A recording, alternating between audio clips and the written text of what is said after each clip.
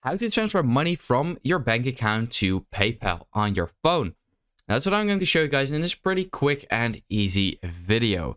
Now, you might already seen a couple of other videos uh, that you've searched up where if they go to their wallet, you can see you can clearly see that they have a bank account or a card connected to their PayPal uh, account. But once they go to their balance, they have a uh, add money option at the bottom. Now, as you can see, I don't have that either, but they somehow have it and a lot of people don't. So I believe it really depends on the different banks where you have your bank account from. So that might be something, or they have a card connected instead of a bank account and it only works with a card. In order to actually do this on your phone, you want to go to your browser and then search up PayPal and log in from there. So now you are basically in the desktop PayPal version because what you can do in here is actually something super easy.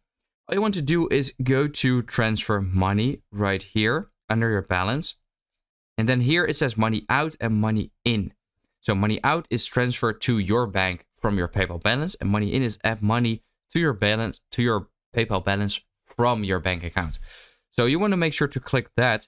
And once you click on there, there are these three steps that you have to follow. So use a bank that's linked to PayPal, log into your online banking or go to your bank, then use the following and uh, choose any amount of money that you would like to send to your PayPal balance, and then look for an email.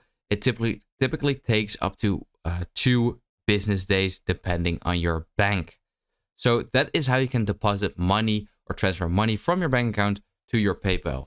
But this is actually pretty annoying to do each time. So what I just simply recommend doing is link a bank or a card. So if you link a bank uh, right over here, then here you can choose any bank uh, in, in your country and or you can even search for one as well, by the way.